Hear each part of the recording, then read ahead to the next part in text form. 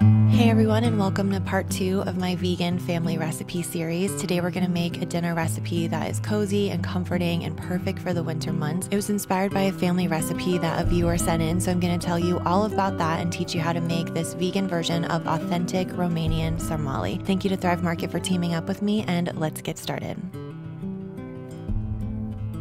One of the things I love about food is that it can be so much more than just food. So a lot of times just day to day, you gotta get food on the table, you gotta eat and move on with your day. And in that case, food is very much sometimes just fuel or a quick little pleasure to punctuate your day, right? But it's just a meal. But other times food can be a window, and I'm paraphrasing a lot of people by saying this, but essentially it can be a window that teaches you about another culture. It can be your starting point to learn about history, maybe even your own family history and traditions and you can learn so much about a people or a group of people and a culture through their cuisine. And I think it's such a fun starting point that really has taught me so much. And I love learning about the different cuisines of the world as kind of a starting point or as that window into learning about history on a broader scale. And so last year around this time, I did a family recipe for my grandma's Norwegian meatballs. I veganized it and it's one of my favorite recipe videos I've ever made because it's really special to me. It's more than food. It's more than just a meal. It's a comforting familiar family favorite that I grew up eating. And when I went vegan, I really tried to veganize it and experiment with different ways of doing it. And it took me a while before I got it right.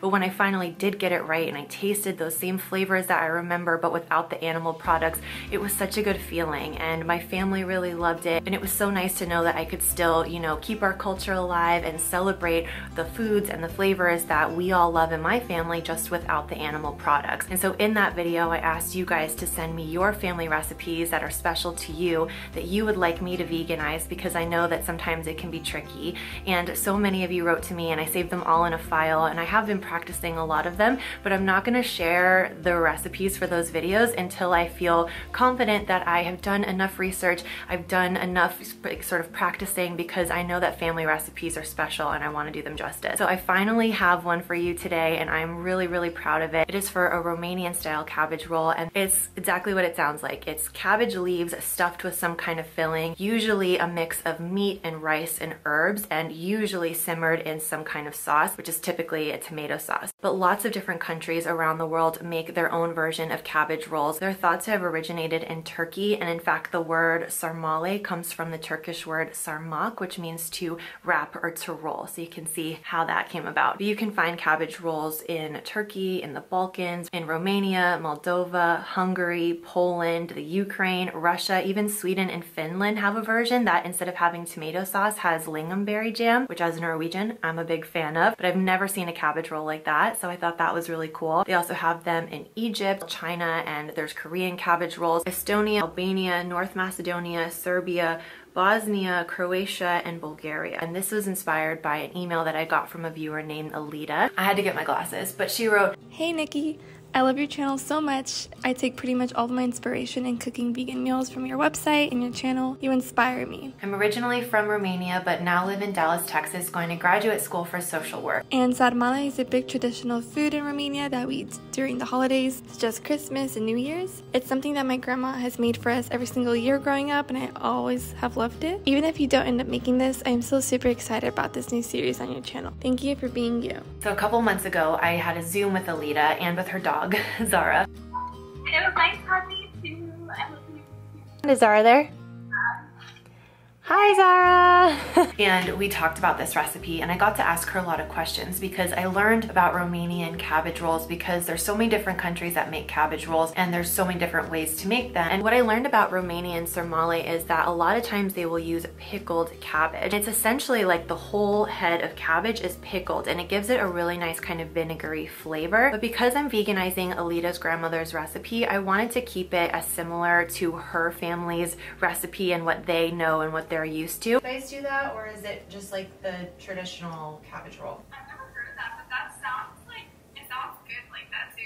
It would be like a, a vinegary taste. I'm actually happy to hear you say that because um, it's a little bit harder to find and if that was going to be really traditional, I wanted to include it, but if it's not that important, then I wanted, like I'd rather leave it out just because it makes it easier for people to recreate it at home, so that's good.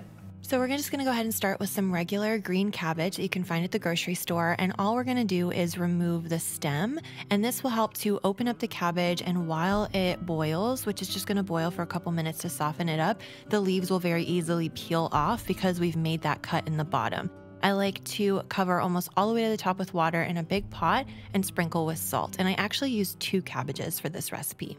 Next, we're gonna make the filling, and I went back and forth between trying recipes that had only vegan meat or only plant based versions, and I actually found that my favorite was a mix of the two. So I start with some mushrooms, and you wanna cook them undisturbed for a few minutes so they get nice and brown, and a lot of the moisture kind of cooks out of the mushrooms. We'll add some onions and garlic, and then just a couple of spices. We're gonna do regular paprika, salt, and pepper. Add that to the pan to bloom the spices and make them super flavorful. And then we're gonna add some uncooked rice and stir this all together.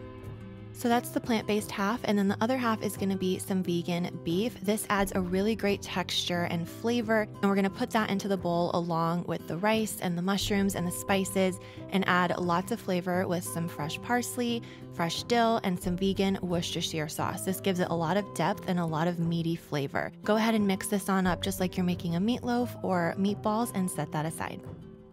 Now the cabbage is nice and soft and as you can see we can just easily peel off the leaves. You want to trim or remove the inner rib but don't worry nothing's going to waste especially in old-fashioned recipes like this. You really make the most of every single part of the ingredients that you're using so we just kind of set the rib aside and then I put the leaves together like this.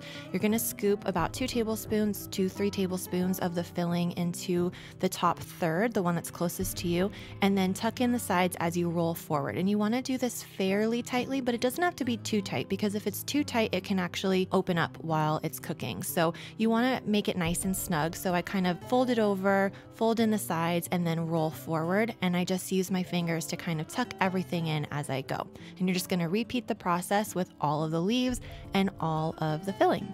Then you may remember we sliced out some of the ribs of the leaves just because when that's part of the leaf still, it's actually hard to roll. It kind of bends and breaks a little bit and it's just easier to remove it. And then I finally chop it and I'm gonna place this in the bottom of the bowl. And you can do this with the ribs of the leaves and any broken leaves or piece of cabbage that you're just not able to roll with the filling. You can chop it up nice and finely and put it on the bottom as kind of like a bed for the cabbage rolls to rest on. So then I place the cabbage rolls on top top, you want them to fit together nicely so they hold their shape, but not too compact to where it's like really, really tight. And this is going to either simmer on the stove or bake in the oven. I like to bake it in the oven and it's going to infuse that rice and those veggies and the cabbage with all of the flavor of the onions and the spices. It's so good. Another thing that I learned about Romanian sarmale is that there's sometimes some bacon or smoked meat on top of the actual cabbage rolls and that really renders down while it's cooking. It gives it a nice smoky flavor and gives the sauce a richness because the fat kind of cooks out slowly as the sauce is simmering and it enriches that sauce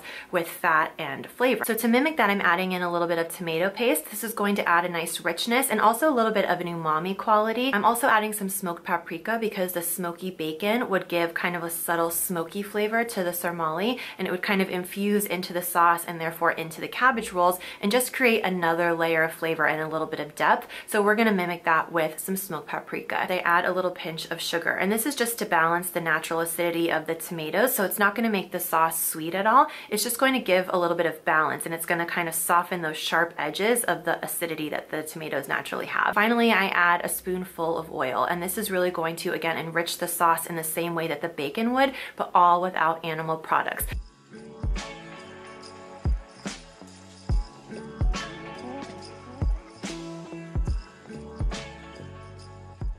While the vegan sarmale was simmering, I went ahead and I placed an order on Thrive Market because I'm gonna be heading back to Florida. And in fact, while you're watching this, I'm gonna be at home in Florida with my family for the holidays. And whenever I do that, I like to order my groceries and have them sent over there because that way I don't have to go to the store when I'm with my family. I don't have to run an errand. I can just be there with them and we can have all kinds of fun snacks for movie nights and also just staples for like easy dinners throughout the week. So I loaded up and I thought it'd be fun to show you what I got. Thrive Market is an online membership based grocery store store and every single member saves money when they shop on Thrive Market because you can actually see the discount right at the bottom. And for every membership that Thrive receives, they also give one to a teacher, a student, a veteran, a first responder, or a family in need. And you can also shop your values on the website. So you can type in vegan, you can type in organic, you can type in gluten-free, and everything that you don't want to see basically goes away. And so it makes shopping really, really easy. You can sign up to become a member for one month or for one year. So definitely take advantage of the link in the description box below. I hope showing you my grocery haul gave you some good ideas and let's get back to the recipe. I serve some of the cabbage rolls up on a platter like this, and I like to top with a zigzag of sour cream, or you can serve some sour cream on the side to dollop on top. I also like to sprinkle some fresh herbs, like the same herbs that are inside. So I did dill and parsley on top with some black pepper. And you guys, this is so good. And it's really amazing how hearty and flavorful and tender the center of these cabbage rolls becomes. And it's really amazing because most of it is vegetables and rice with a little bit of vegan meat. And it just really has this hearty, meaty, filling quality that is just super satiating and comforting. You can serve this with some boiled potatoes and roasted veggies for a hearty, comforting, authentic Romanian style meal that's perfect for a holiday or festive occasion. One of the things that's really fun about kind of expanding your culinary horizons and trying recipes and styles of cuisines that you've never made before is that a lot of times it involves an ingredient that you're familiar with, but you haven't used in that particular way. So for example, as a Norwegian, I'm very familiar with dill. We use dill in a lot of different things, but it was really interesting to use dill with a beef product. That's not something that I've done in the past. And I really love the way that the combination of the dill and the parsley and the paprika and the onions and the garlic really worked to create a very intensely savory filling. And it was totally, it was like a different it was a different side of dill. I've never had dill taste quite like that because usually when I have dill, it's with potatoes and lemon and it's like a brighter kind of pasta salad sort of thing, you know? But using it in this way taught me that, wow, dill can have this whole other flavor profile and it can really lend itself to meat dishes and be savory. And I love that because with cooking, there's always so much to learn and there's just no shortage of new recipes to try, new cuisines to try. And like I said, they can really open you up to learning about the history, which is what uh, this process did for me. So thank you so much to Alita for sharing her family's recipe. I hope you and your family enjoy this one and that I did your grandma's recipe justice. I think that it's so cool that we can veganize these really classic, important traditional recipes in our own families and be the ones that can show them like, hey, this we can still have everything the same just without the animals. And I think that's really powerful. So I hope you guys enjoy this recipe. It's gonna be in the description box below. If you'd like to send me your family recipes, please do. It's gonna take me some time to get it because like I said, I really value family recipes. I wanna practice and make sure I get it right. But I'm really happy with the way this one turned out and I can't wait to do more. So go ahead and email me. My email is in the description box as well. I hope you guys have a great day. Don't forget to check out the link below to try Thrive Market and I will see you guys in the new year right? Is that, the, is this, yeah, yeah. I will see you in the new year. Bye.